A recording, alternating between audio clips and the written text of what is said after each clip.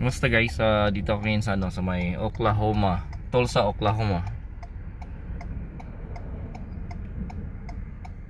Ito yung lugar nila sa pinag-pick upan ko.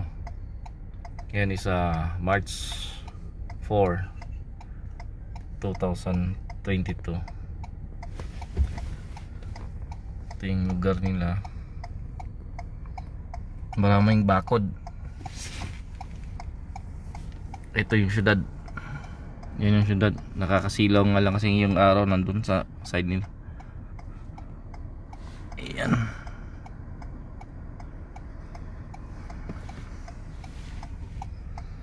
Tumigil lang ako para at least may video ako dito. Oklahoma. Tulsa, Oklahoma, USA yung karga ko na pick up ko na. 177 pounds. Magaan lang papuntang Canada. Woodbridge, Derry Round. Woodbridge, Ontario, Canada. Yan.